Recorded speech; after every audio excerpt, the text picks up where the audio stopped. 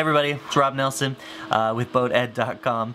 Now, do you know the difference between a give-way vessel and a stand-on vessel? I want to make sure everybody is safe when they're out on the water, partly because I don't, I don't like being on the water when there's unsafe boaters. That is why we made this quick little video for BoatEd.com to make sure everybody knows the difference between a stand-on and a give-way. Check this out. Stand-on versus give-way. The stand-on vessel is the one that must stand on or maintain its course and speed.